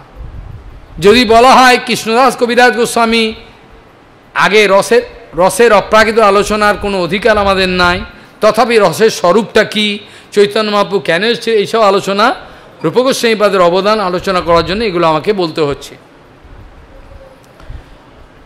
ছিল বৃন্দাবন দাস ঠাকুরের সম্বন্ধে বলতে গিয়ে গৌর গণোদ্দেশ দীপিকাতে লেখা রয়েছে, তিনি হচ্ছেন কুসুমপীড় সখা। কথাগুলো কানে ঢোকাতে হবে ভালো করে, অন্য চিন্তা করলে হবে না। সেখানে লেখা রয়েছে, এই বৃন্দাবন দাস ঠাকুর মহাশয়, তিনি কুসুম, কৃষ্ণের সখা কুসুমপীড় সখা। অ্যাট দ্য সেম টাইম একই সঙ্গে তিনি ব্যাসদেব গোস্বামীও তার সঙ্গে আছেন। দুজনে একসঙ্গে মিলে অবতার হয়েছেন। বোঝা গেল না? যেমন সচিমাতার মধ্যে সচিমাতার মধ্যে যেমন যশোমতী মা এবং দেবকী দুজনই আছেন। বোঝা গেল না কিছু?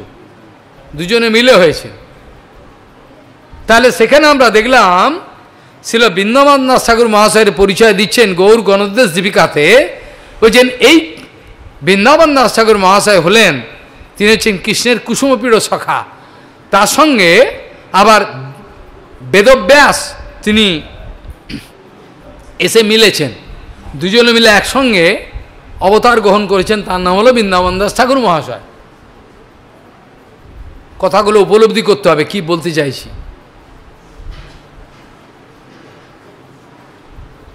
কৃষ্ণদাস কবিরাজ গোস্বামী সেই চৈতন্য চরিতামিত আলোচনা করতে গিয়ে প্রতি মুহূর্তে একটা করে লাইন লিখছেন আর বলছেন, হাত জোর করে।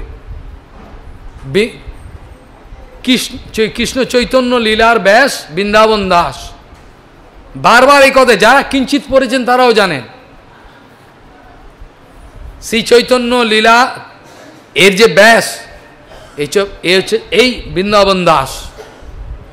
আমার অধিকার নেই, কিন্তু তার কৃপাতে, তার চরণ ধুলি আমার মাথায় নিয়ে তার উচ্ছিষ্ট চর্মণ কীরকম দৈন্য দেখুন। চৈতন্য লীলার ব্যাস বৃন্দাবন দাস। তার কৃপাতে যদি কিছু আমার স্ফূর্তি হয়, তিনি দৈন্য করে বলছেন, কৃষ্ণদাস কবিরাজ গোস্বামী, দম্ভ করি, বর্ণি জৈছে তৈছে শক্তি নয়। আমি যদি দম্ভ করে বলি, আমি চৈতন্য লীলা বর্ণনা করে দেখিয়ে দেবো। বলে, আমার মতো গাধা আর কেউ নেই, জানোয়ার কেউ নেই। আমি সবচেয়ে বড় পশু। কৃষ্ণদাস কবিরাজ গোস্বামী দৈন্য করে বলছেন দম্ভ করি, বর্ণি জৈছে তৈছে শক্তি নয়। আমি যদি দম্ভ করে বর্ণনা করব, চৈতন্য এলে হবে না। সেই মহাশয় বৃন্দাবন দাস ঠাকুরের চরণে আমার যেন কোনো অপরাধ না হয়, তিনি আমাকে কৃপা করুন। এখন যদি আমি আপনাদের সামনে এই প্রশ্নটা রাখি ছিল বৃন্দাবন দাস ঠাকুর মহাশয় পরিচয় দিলাম, অপ্রাকৃত পরিচয়। তিনি কি চৈতন্য লীলায় গৌরাঙ্গ লীলায় তিনি হচ্ছে বৃন্দাবন দাস ঠাকুর মহাশয়, নিত্যানন্দের শেষ শিষ্য, গৌর নিত্যানন্দের ভিত্তি আর যেখানে ছিল কৃষ্ণদাস কবিরাজ গোস্বামী, তিনি হচ্ছেন কস্তুরী মঞ্জুরি। এবার যদি আপনাদের কাছে আমি প্রশ্ন রাখি, যে মহারাজ, আপনি তো একটু আগেই শুরু করলেন, রাধারানীর গণের মহিমা সবচেয়ে বেশি। রাধারানীর গণের মহিমা বেশি, রাধারানী ধমক দিচ্ছেন, শ্যামানন্দ তিলক চেঞ্জ করেছেন বলে হ্যাঁ গুরুদেব রেগে গেছেন। স্বতন্ত্র হয়ে গেছে, নিজের ইচ্ছা মতো রাধা যে আমি করেছি, ও আমার গণ, তুই তো কৃষ্ণের গণ, আমি দিয়েছি ওকে তিলক।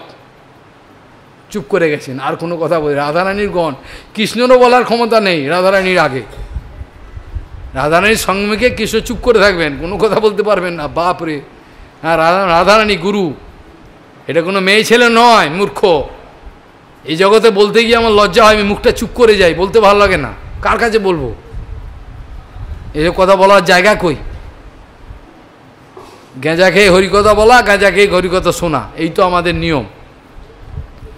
যদি আপনাদের সামনে এখন প্রশ্ন রাখা হয় যে কৃষ্ণদাস কবিরাজ গোস্বামী, তিনি তো একটু আগে আপনি পরিচয় দিলেন, তিনি কস্তুরী মঞ্জুরি রাধারানীর নিজজন। এই তো পরিচয় দিলেন তিনি কস্তুরী মঞ্জুরি। তাহলে কে বড়? এই যে বললেন রাধারানী গণ বড়। তা তিনি তো দৈন্য করছেন, বৃন্দাবন দাস ঠাকুরের চরণের কৃপা আমি করছি। আর বৃন্দাবন দাস ঠাকুর যদি জানতে পারেন, জানতে তো পারবেনই, তিনি জানেন এ তো কেন বৃন্দাবন দাস ঠাকুরের লেখা আরও আগে। বৃন্দাবন দাস ঠাকুরের লেখা আগে। কৃষ্ণনাথ কবিরাজ গোস্বামীর লেখা পরে হয়েছিল, চৈতন্য চরিতামৃত। তাহলে অপ্রাকৃতিক জগতের কে বড়, কে ছোট এইসব হিসাবগুলো এভাবে হয় না। নয়নমণি মঞ্জুরি প্রভুপাত বড় নাকি গুণমঞ্জুরি গৌরকিশোর বাবা এগুলো তো লীলা করে দেখান, গুরু, শিষ্য, এগুলো লীলা করে দেখান। নিত্য জগতে এদের যে সম্মান, সেগুলো আমরা উপলব্ধি করতে পারি না। এইসব কথা বড় অপ্রাকৃত কথা। আমি কালকে আলোচনা প্রসঙ্গে বলেছিলাম শ্রী চৈতন্য মহাপ্রভু যে কারণে এসছিলেন, তার কিছু আমি দিগদর্শন করব, কালকে যদি আলোচনা হয়। চৈতন্য মহাপ্রভু আলোচনার অনেক বৈশিষ্ট্য আছে, বিভিন্ন দিক থেকে। সনাতন গোস্বামীকে তিনি যখন শিক্ষা দিয়েছিলেন, তখন একরকম শিক্ষা দিয়েছিলেন, সম্বন্ধ, অভিধীয় প্রয়োজন, জ্ঞানের। আবার যখন রূপগোস্বামীকে শিক্ষা দিয়েছেন, সেখানে রসতত্ত্বের শিক্ষা দিয়েছেন, বড় অদ্ভুত কথা। আমি যখন কথা আরম্ভ করেছিলাম, তখন শুরু করেছিলাম কি দিয়ে? সেখানে বলেছিলাম, কৃষ্ণদাস কবিরাজ গোস্বামী অপ্রাকৃত দৈন্য প্রকাশ করেছেন, জগাই মাদাই হইতে মুইসে পাপিষ্ঠ ইত্যাদি কথা বলেছিলাম। কিন্তু তিনি অপ্রাকৃত দৈন্য প্রকাশ করেছিলেন, এটা আদৌ কিন্তু আমরা এটা মানব না। কেন তিনি অপ্রাকৃত দৈন্য প্রকাশ করেছেন? অপ্রাকৃতিক জগতে যে যত উঁচুতে ওঠেন, তার তত দৈন্য বেশি হয়। বোঝা গেল? অপ্রাকৃতিক জগতে যে যত ধন সম্পত্তি লাভ করবেন, তার দৈন্য তত বেশি হয়। এগুলো আমরা উপলব্ধি করতে পারব না। দম্ব অহংকার এগুলো কোনোটাই থাকতে পারে না। অপ্রাকৃত সম্পত্তি লাভ করলে। যখন বৃন্দাবন দাস ঠাকুর মহাশয় বললেন, এত পরিহারেও যে পাপি নিন্দা করে, তবে লাথি মারু তার শিরের ওপরে কথা বললেন তো? এত পরিহারও যে পাপি নিন্দা করে, তবে লাথি মারু তার শিরের ওপরে সমস্ত জগতের লোক এজিটেশন করল। এই জগতের লোক সব বিক্ষিপ্ত হয়ে গেল। তারা বললেন, এত বড় কথা? লাথি মারবে? বৈষ্ণব হয়েছে, সাধু হয়েছে হ্যাঁ? তবে লাথি মারু তার জীবন এ কি? আমাদের মাথায় লাথি মারবেন এ কি সাধু নাকি? ছিল পৌপাত বললেন, এগুলো সব মূর্খ, জানতে পারলেন না। বৃন্দাবন দাস ঠাকুর মহাশয়ের অপ্রাকৃত দৈন্য কেউ উপলব্ধি করতে পারলেন না। ভালো করে কান খুলে শুনে নাও। যেটা কৃষ্ণদাস কবিরাজ গোস্বামী যখন বলেছেন পুরুষের কীট হইতে মুইছে লঘিষ্ঠ। আর তার আগে তার আগে যখন বললেন, জগাই বাঁধা হইতে মুইতে পাপিষ্ঠ পুরুষের কীট হইতে মুইছে লঘিষ্ঠ। আর বৃন্দাবন দাস ঠাকুর মহাশয় যখন বললেন, তবে লাথি মারুতার শিরের ওপরে এই দুজনের মধ্যে কে দৈন্য আছে আর কে দৈন্য নেই। স্বাভাবিকভাবে দেখে কৃষ্ণদাস কবিরাজ গোস্বামীর দৈন্য আছে, বৃন্দাবন দাস দৈন্য মোটেই নেই। কেন বলেছে? লাথি মারবে। এ আবার কি কথা?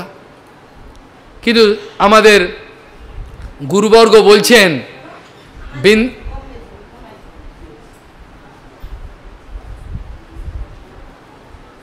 আমাদের গুরুবর্গ বলছেন, ভক্তি সিদ্ধান্ত সরস্বতী গোস্বামী ঠাকুর বহুপাত বলছেন এই দুজনের দৈন্য বিচারেতে দেখা যাবে দুজনের দৈন্যই সমান। যেখানে বৃন্দাবন দাস ঠাকুর বলছেন, তবে লাথি মারুতার শিরের উপরে। যেখানে কৃষ্ণদাস কবিরাজ গোস্বামী বলছেন, পুরুষের কীর্তন মুচিলে কৃষ্ট এই দুজনের দৈন্য যদি তুলনামূলক বিচার করা হয়, দুজনের দৈন্য সমান। কিন্তু যদি নিরপেক্ষ বিচার করা হয়, বৃন্দাবন দাস ঠাকুর মহাশয়ের দৈন্য আরও বেশি। বলেন কি? ইনি বলছেন, তবে লাথি মারুত শিরের উপরে, এর দৈন্য বেশি হয়ে গেল? হ্যাঁ এর দৈন্যটা একটু বেশি হলো। যদিও দুজনের দৈন্য সমান, কিন্তু যারা অপ্রাকৃতিক জগতের বিচার জানেন, তারাই বলবেন যে এখানে এই দুজনের বিচারে বৃন্দাবন দত্তকের দৈন্য আরও বেশি হয়ে গেল। তাই নাকি? কি করে হলো? উনি তো বলছেন লাথি মারবেন। তুমি তো এই কারণটা বুঝলে না। তুমি তো এর অর্থটা বুঝলে না। কৃষ্ণদাস কবিরাজ গোস্বামী যখন বললেন, পুরুষের কীর্ত তো মহিষে লঘিষ্ঠ, জগাই মাদাই যে মহিষে পাপিষ্ঠ, তখন তোমার তাকে ভুল বোঝার সম্ভাবনা আছে। একটু আগে বলেছিলাম না? জগতের লোক ভুল বুঝছে, এরকম একটা লোকের আলোচনা করে কি হবে? যিনি এরকম নিচু পরিচয় দিচ্ছেন, তাহলে আমার তাকে ভুল বোঝার সম্ভাবনা আছে। কিন্তু বৃন্দাবন দাস ঠাকুর মহাশয় যখন বলছেন, তখন তার পেছনে রহস্যটা কি? গুরুতত্ত্বের শেষ তত্ত্ব, আকর তত্ত্ব কি?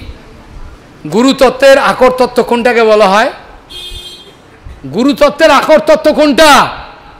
দেখো, কেউ বলতে পারে না। গুরুতত্ত্বের আকর তত্ত্ব কেউ জানে না? কদিন পরে বলদেব আবির্ভাব তিথি কেউ বলতে পারছেন? হ্যাঁ বা না? আরে বলদাওজি মহারাজ যার সম্বন্ধে আলোচনা হবে দুদিন পর। সেই বলরাম নিত্যানন্দ হলেন গুরুতত্ত্বের আকর তত্ত্ব, মূল। তার যদি প্রধান শিষ্য হয়ে থাকেন বৃন্দাবন দাস ঠাকুর মহাশয়, গুরু শিষ্য অভিন্ন হয়ে যায়। যখন গুরুদেব আত্মা হয়, ভাগবতের অনেক শ্লোক আছে, কোনটা আমি আলোচনা করব? আমি তো পাগল হয়ে যাই। গুরুদেব তাত্মা।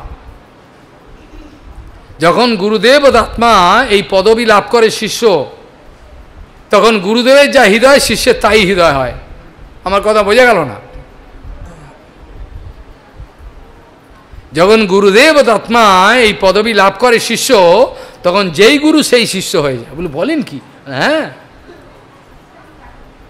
যেই গুরু সেই শিষ্য হয়ে যায়, এত মিলেমিশে একাকার হয়ে যায়। সাক্ষাৎ হরিত্বেন সমস্ত শাস্ত্রই রুক্তস্ততা ভব্বত এব সদ্ভি কিন্তু প্রবর্য প্রিয়বতস্য যে বলেছে, তাহলে বৃন্দাবন দাস ঠাকুর মহাশয় নিত্যানন্দের অভিন্ন হয়ে গেল। তাই কি না? আমরা গুরু শিষ্যের সম্বন্ধ বিচার প্রসঙ্গে দেখতে পাই এই ধরনের কথা। যখন অপ্রাকৃত সেবায় প্রতিষ্ঠিত হয়ে যান শিষ্য তখন গুরুদেব পাগল হয়ে যান আনন্দে। শিষ্য এমন সেবা করতে আরম্ভ করেন, তখন গুরুদেব বলেন, যে তুই সেই আমি। যেটা শ্রী শান্ত গোস্বামী মহারাজ বলেছিলেন, সেটা সাগর মহারাজ সম্বন্ধে। সেবা করতে করতে তিনি এমন দশা লাভ করেছিলেন, যেই গুরু সেই শিষ্য। এরকম অপ্রাকৃত নিষ্কপট সেবা। জগতে এখন সুদূর লভ এ ধরনের সেবা আমরা আশা করতে পারি না, বর্তমান কপট সমাজে। বড় আশ্চর্যের কথা। তাহলে বৃন্দাবন দাস ঠাকুর মহাশয় যদি নিত্যানন্দ প্রভু শেষ শিষ্য হয়ে থাকেন এবং আত্মসাত করে থাকেন নিত্যানন্দ প্রভু, তাহলে যেই বৃন্দাবন দাস ঠাকুর মহাশয়, সেই নিত্যানন্দ? পার্থক্য কিছু নয়। মিনকেতন নামদাসের ব্যাপারও এই কথা। যখন কৃষ্ণদাস কবিরাজ গোস্বামী নিজের জীবনের কিছু কথা বলছে প্রাসঙ্গিক কথা, কেন আমি এই কথাতে যাচ্ছি? কৃষ্ণদাস কবিরাজ গোস্বামী বৃন্দাবনে যাওয়ার আগে তার জীবনের কিছু কথা বলছেন চৈতন্য চরিতামিতা আছে। আমার পূর্বাশ্রমে ঝামাটপুরে একটা মন্দিরে আমার উৎসব হয়েছিল। কৃষ্ণদাস কবিরাজ গোস্বামী জানাচ্ছেন আমার আমার পূর্বাশ্রমে ঝামাটপুকুরে, ঝামাটপুরে উৎসব হয়েছিল। সেই উৎসবেতে নিমন্ত্রণ পেয়ে মিনকেতন রামদাস এসেছিলেন। মিনকেতন রামদাস। নিত্যানন্দের শিষ্য, বলরামের শিষ্য। তিনি যখন এসছিলেন, সেখানে মিনকেতম নান্দাসের শরীরটা এরম দলে, এরকম দলে, প্রেমেতে। আর একটা বাঁশি থাকে কারোর পিঠে মারেন, চাপড় মারেন, বাঁশি মারেন। তিনি এসছেন, সেখানে গুণার্ণব মিশ্র বলে একটা পূজারী ছিল, সে তাকে বিশেষত সম্ভাষণ করল না, কিন্তু তিনি কোনো রাগ করলেন না। আনন্দে বসলেন। খালি এই কথাটা বললেন, এই সেই সুতো, লোমহর্ষণ সুতো, যে বলরাম আসার পর উঠে দাঁড়াল না। জগতের লোক এসব কথার মানে বুঝবে না। একটা কথা খালি বলে বসে বললেন, সন্তোষ, রাগ করলেন না তিনি? তিনি আসার পরে সবাই উঠে দাঁড়ালেন, আনন্দে তাকে দণ্ডবোধ করলেন, ওই ব্যক্তি উঠে দাঁড়াল না। গুণার্ণব মিশ্র তাতে মিনকেতম রামদাস কোনো রাগ প্রকাশ, ক্রোধ প্রকাশ করলেন না। খালি হেসে হেসে বললেন, এই সেই এই সেই সুতো কে? রোমহর্ষণ সুতো, যে বলরামের আগমনে উঠে দাঁড়াল না। এখন যদি তোমাদের মধ্যে কারোর অহংকার করে বলো যে, কি, এত বড় কথা? উনি কি বলরাম নাকি? উনি তো মিনকেতন দাস উনি কি বলরাম নাকি? এই কথাটা বললেন, এত বড় কথা বললেন? উনি কি বলরাম? উনি তো মিনকেতন দাস। উনি তো মিনকেতন দাস। উনি এসে এই কথাটা কি করে বললেন? এই কথাটা তিনি উচ্চারণ করলেন কেন? এখানে তাহলে কি প্রশ্ন, কি উত্তর হবে? তিনি মিনকেতম নামদাস তিনি মিনকেতম নান্দাস কিন্তু মিনকেতম নান্দাস হলেও তিনি নিত্যানন্দের একান্ত অনুগত জন, যাকে নিত্যানন্দ বাবু নিজের বলে স্বীকার করেছেন। অর্থাৎ এর অর্থ কি হলো? মেনকেদম নামদাস যখন ওই সভাতে এসছিল, তখনই গুরুদেবকে, অর্থাৎ বলরামকে নিজের হৃদয়ে নিয়ে এসেছিলেন। চঞ্চল সমাজে কোনো হরিকথা শোনা যায় না। হৃদয়েতে নিত্যানন্দকে নিয়ে তিনি এসছেন। যে সৎশিষ্য হবে, সে সবসময় গুরুদেবকে হৃদয়ে নিয়ে চলেন। যে সৎশিষ্য হবে, যে সৎশিষ্য হবে সে সবসময় যে সৎশিষ্য হবে সবসময় তিনি গুরুদেবকে সঙ্গে নিয়ে চলেন। তিনি গুরুদেবকে সঙ্গে নিয়ে চলছেন। সেই জন্য তিনি সেখানে এই মন্তব্য করেছেন, তার এটা অহংকার নয়। এটা তার অহংকার নয়। তিনি সেখানে যে বলছেন যে এই সেই রোমহর্ষণ সুতো যে বলরামের আগমনে উঠে দাঁড়াল না এই কথায় ভাববার কারণ নাই, তিনি হচ্ছেন অহংকার প্রকাশ করেছেন। এটা অহংকার নয়। এটা অহংকার হলো না। তিনি সত্যি সত্যি দৈন্য প্রকাশ করেছেন। করেই এই কথাটা বলছেন, গুরুদেব যখন শিষ্যের সঙ্গে আসেন, গুরুদেব যখন শিষ্যের সঙ্গে আসেন, তখন সৎশিষ্যকে অপমান করলে গুরুদেবের অপমান হয়ে যায়। এ কথাটা লোকে বোঝেন না।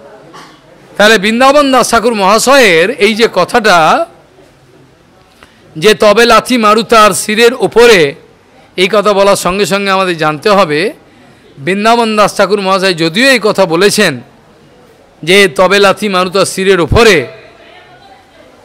এই কথা তিনি বলেছেন কথাটা ঠিকই, কিন্তু এর মধ্যে আপনাকে বোঝা উচিত ছিল, তিনি কত বড় দয়ালু। যদি মানুষ হয় মানুষের মতো মানুষ বিবেচনা হয়। আর যদি বৈষ্ণব হয় তো কথাই নাই।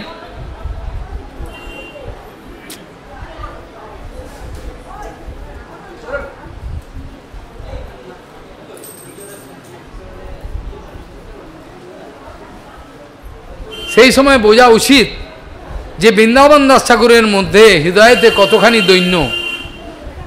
ছিল বৃন্দাবন দাস ঠাকুরের মধ্যে কতখানি দৈন্য যে তিনি গুরুদেবের কৃপাটা সবারকে বিতরণ করতে চান। লাথি মারো মানে কি? বৈষ্ণব যদি লাথি মারে, তার চরণ ধুলে আমার মাথা আসবে। কত বড় দয়ালু তিনি, তুমি তাকে তুমি তাকে গালাগাল দিচ্ছ? বৃন্দাবন দাস ঠাকুরের মতো দৈন্য কার আছে? যেখানে কৃষ্ণনাথ কবিরাজ গোস্বামী এই কথা বলছেন, তার অপ্রাকৃত দৈন্য বৃন্দাবন দাস ঠাকুর মহারাজ ততোধিক দয়া করছেন আমাদের দয়া করে বলছেন, এরা যদি বুঝতে না পারে, তাহলে আমি তাদের মাথায় চরণের ধুলো দেবো, লাথি মারবো, মেরে তাদেরকে আমার চরণের ধুলো দেবো, দিয়ে তাদেরকে বুদ্ধিটাকে শোধন করব। তারা নিত্যানন্দের কৃপা দিয়ে দেবো, তারা যেন বুঝতে পারেন গৌরাঙ্গের মহিমা। তবে লাথি মারু তার শিরের ওপরে এটা কত বড় দৈন্য, এটা জগতের এই পাগল লোকগুলোকে বুঝতে পারল না। তারা তার দোষ দেখল হ্যাঁ? এত বড় কথা। লাথি মারবেন বলেছেন? নিত্যানন্দ অবধূত গৌরাঙ্গের এত করুণা নয়। গৌরাঙ্গের এত করুণা কোনোদিনই হবে না, যত করুণা নিত্যানন্দের। যে কথাটা বলতে গিয়ে এক্ষুনি বললাম, কৃষ্ণদাস কবিরাজ গোস্বামী বলছেন, এমন নিঘৃণ্য মরে কেবা কৃপা করে এক নিত্যানন্দ বিনু জগৎ মাঝারে? এই কথা বুঝতে অনেক ঢের দেরি আছে। প্রচুর ভজন করতে হবে, জন্ম জন্ম কাটাতে হবে। নিষ্কপটে ভজন করতে হবে, এইসব কথা বোঝা যাবে। অত সহজে বোঝা যাবে না।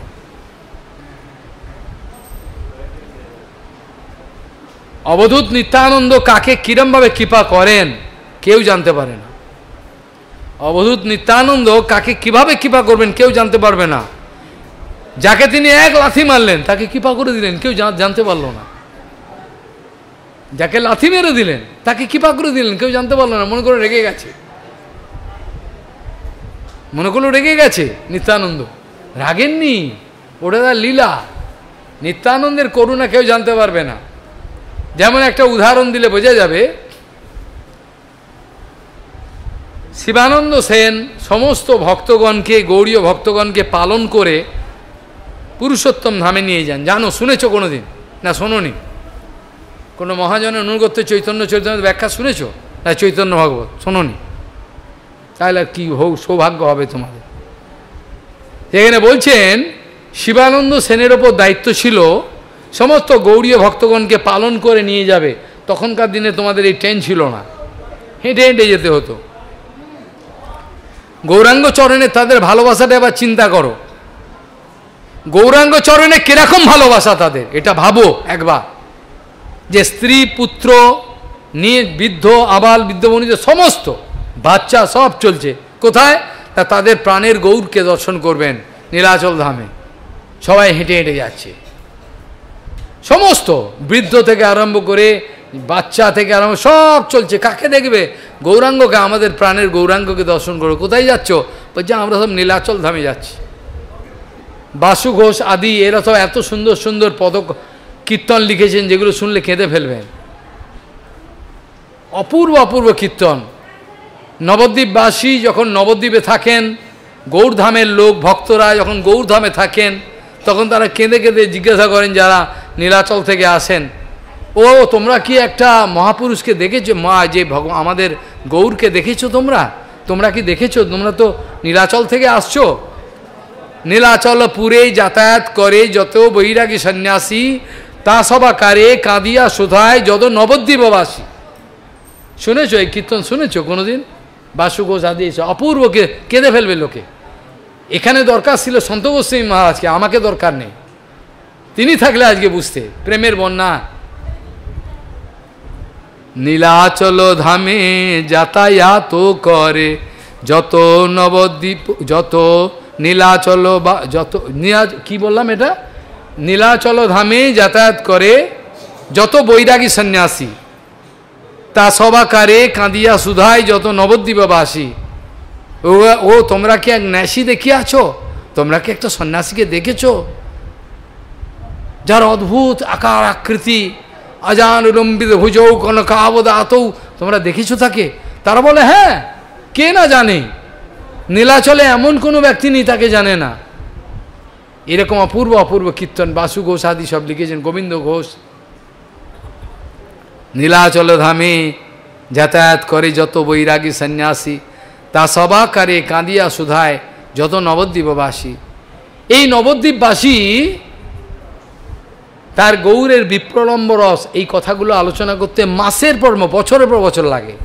একদিনে আলোচনা হয় না। এই নবদ্বীপবাসী বিপ্রলম্ব রস আস্বাদন করছেন, গৌরাঙ্গ চলে গেছেন সন্ন্যাস নিয়ে। বিরহ যন্ত্রণা। আর তারা যখন আবার সবাই মিলে নীলাচল ধামে যাচ্ছেন, তাহলে এবার হিসাব করে দেখো, তারা যখন নীলাচল ধামে যাচ্ছেন, কেউ কেউ নদী, কেউ কেউ নৈহাটিতে থাকে, কেউ কেউ থাকে নবদ্বীপে কেউ শান্তিপুরে সবাইকে নিয়ে, কেউ কেউ কালনাতে থাকে, সবাইকে নিয়ে এবার চললেন। কে? কে যাচ্ছেন? শিবানন্দ সেন। শিবানন্দ সেন সবাইকে পালন করে নিয়ে যাচ্ছেন। কোথায় যাবেন? নীলাচলে সেখানে একটা কুকুরে যাচ্ছে, একটা কুকুর। এসব কথা আমি পরে বলব, আলোচনা প্রসঙ্গে কালকে যদি সময় হয়। আমি ছোট্ট একটা আলোচনা করে এখানে ভগবানের যে দৈন্য, অপ্রাকৃত ভক্তের দৈন্যটা প্রকাশ করার চেষ্টা করছি। বৃন্দাবন দাস ঠাকুর কতটা অথেন্টিক কতটা সত্য কথা বলছেন, আমাদের কৃপা করার জন্য, কতটা দৈন্য, এটা বলব যে এই ঘটনাটা বলবার দরকার আছে। শিবানন্দ সেন গেছেন ভিক্ষায়। এদিকে সব ভক্তরা গ্রামেতে রয়েছে, তাদেরকে বাসস্থান দেবেন, যে কোনো জায়গায় যান, রাত্রিটা বাস করেন, আবার সকালে চলেন। এক গৃহস্থ ব্যক্তি যদি রাস্তা চলে, কত যেতে পারবে? সারাদিনে কুড়ি কিলোমিটার যেতে পারবে ম্যাক্সিমাম আমরা ধরো চল্লিশ পঞ্চান্ন কিলোমিটার চলে যাই, চুরাশি গোষ্ঠীতে চললাম, চল্লিশ পঞ্চাশ চলে গেলাম। কিন্তু গৃহস্থ ব্যক্তি, বাচ্চা কাচ্চা, বুড়ো নিয়ে কত দিন? কুড়ি কিলোমিটার যাবে। তাহলে কুড়ি কিলোমিটার, দশ, পনেরো কিলোমিটার, কুড়ি কিলোমিটার যেতে পারে সারাদিনে। তারপরে থাকতে হবে, ভজন করতে হবে, খাওয়া দাওয়া আছে, ভিক্ষা করবে এই সব সময় চলে যায়। তাহলে কি করে হবে? এর মধ্যে শিবানন্দ সেন গেছেন ভিক্ষা করতে। নিত্যানন্দ প্রভু রেগে গেছেন। রেগে ইচ্ছা করে রাগ দেখাচ্ছেন। এই, শিবা কোথায় গেল? ভোকে মরে গেলাম, আমার খিদায় মরে গেলাম, শিবা শিবা কোথায় গেল? রেগে গেছেন, নিত্যানন্দবাবু রাগ দেখাচ্ছেন। রেগে মেগে বলছেন, আমি খিদে মরে গেলাম, শিবার ছেলেগুলো সব মরুক। এরকম গালাগাল দিচ্ছেন। আর শিবানন্দ সেনের যে স্ত্রী, পত্নী কাঁদছেন। শিবানন্দ ভিক্ষা থেকে ফিরেছেন, স্ত্রী কাঁদছেন গোসাই রেগে অভিশাপ দিয়েছে আমার ছেলেগুলো মরুক। তার খিদে পেয়েছে অত্যন্ত জোরে। আর বলছে, শিবানন্দ কোথায় গেল? এখনও খেতে দিল না? এত বেলা হয়ে গেল? তার ছেলেগুলো মরুক সব।